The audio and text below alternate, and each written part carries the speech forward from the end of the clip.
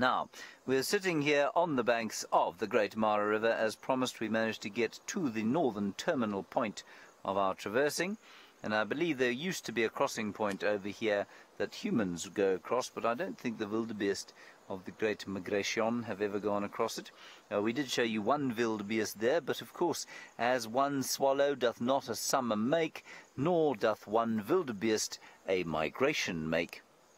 And so the main herds are still way down to the south of where we are now. They will come around here at some stage during the next, well, few weeks, I, I hope, and they'll come around here, they'll graze here, they may cross, there is a small crossing point up there, otherwise way down to the south they'll be crossing.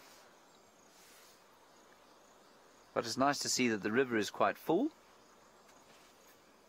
There's a little lovely sound of it making small rapids and lurking, of course, beneath its murky surface crocodiles. Many. Everyone's favourite nature's villain.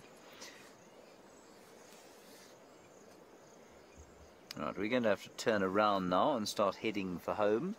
Uh, we're a long way out, so this doesn't mean we're going to have to shut down. We just need to start moving. So while we do that, let's go back to Ali and her hippopotami.